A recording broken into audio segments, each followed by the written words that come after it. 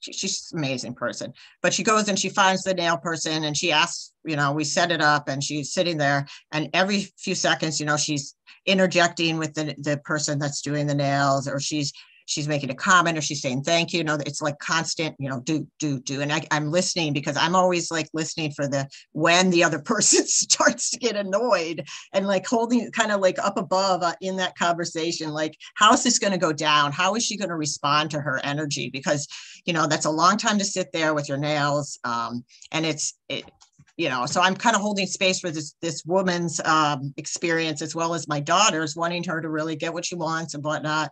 And i could feel her tension a little bit like she was she was figuring it out like this you know this because they you wouldn't know to look at her really unless you talked to her for a little while that there was you know that she was um, this extraordinary soul.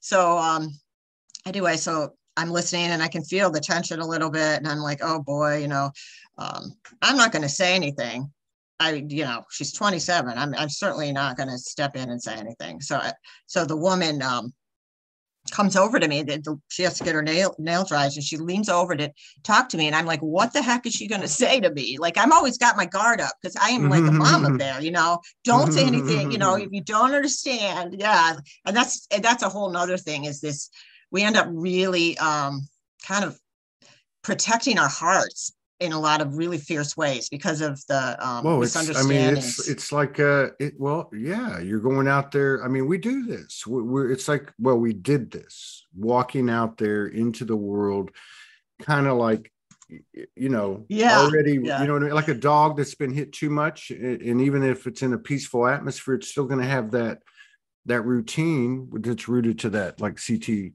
uh, cptsd like you're talking about so i can understand yeah so, anyways, yeah. So just to finish the story, the woman bends over and she tells me, "You have an angel," mm. and she goes on about how she she felt and just how what how beautiful of the soul she is, and um, wow.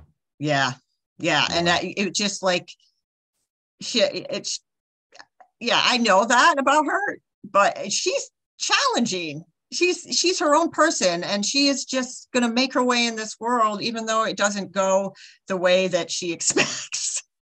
Or i don't know it's just it's it's hilarious it's challenging it's growth inducing